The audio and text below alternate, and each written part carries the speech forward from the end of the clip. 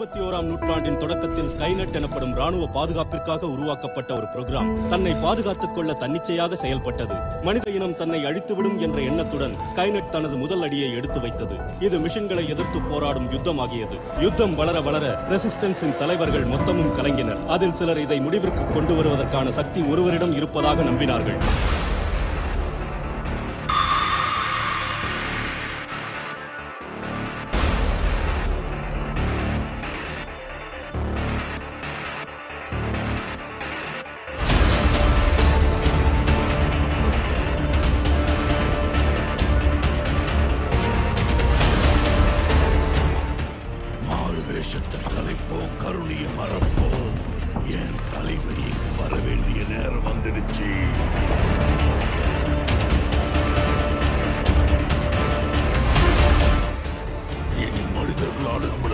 தடுக்கவே முடியாது.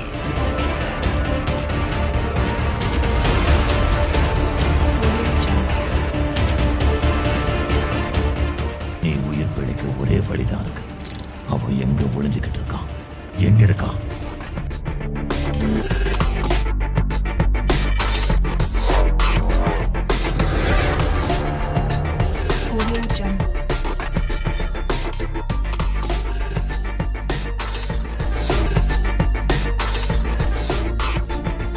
இதுக்கு ஹைப்ரிட் நர்வஸ் சிஸ்டமும் இருக்கு.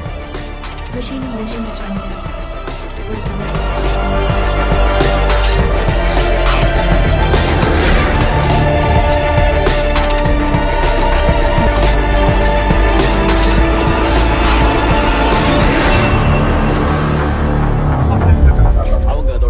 பயன்படுத்தி பூமியில இருக்கிற இயந்திரங்களை வச்சு ஒரு புது படையை உருவாக்கிடுவாங்க.